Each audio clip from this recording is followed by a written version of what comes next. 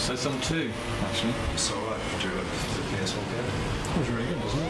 Well, yeah, you, you'd like it. I thought it was all right. No, okay. This, this is good. This is, you know, they've Isn't it kept just through. SSX tricky again? On bikes. No, We can go with no tricks. no, and I'll tell you why.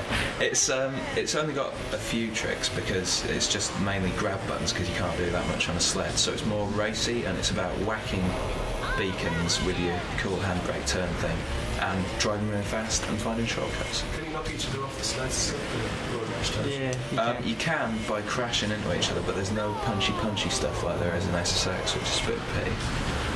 Just think SSX, this Freekstyle, you know, it's how we all sort of do the same sort of stuff. Yes.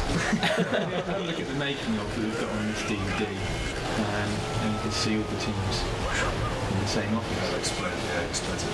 Yeah. The whole year's sports big, you know, do a day trip, look at it, a little bit too much. Not quite just yet, but they watch themselves, so that's it.